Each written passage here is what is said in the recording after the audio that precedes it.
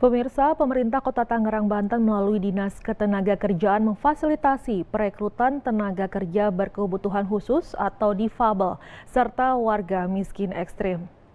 Sedikitnya terdapat tiga pencari kerja dengan kriteria tersebut telah mendapatkan pekerjaan di sejumlah perusahaan yang ada di daerah tersebut.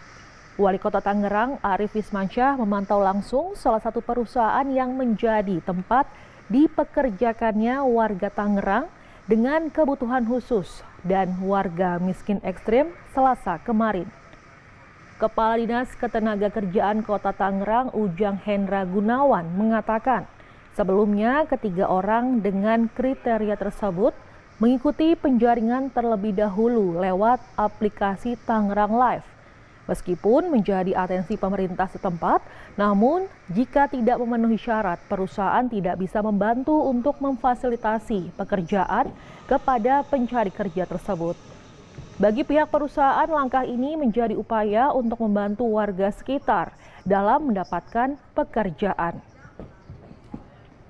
Perusahaan yang mau menampung dengan segala keterbatasan mereka.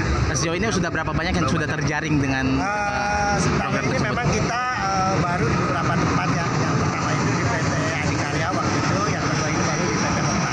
Karena apa? Kita juga tidak semuanya uh, mereka yang memiliki keterbatasan ekonomi itu bisa kita salurkan karena apa? Kita ada proses dan ada syarat dan ketentuan. Ada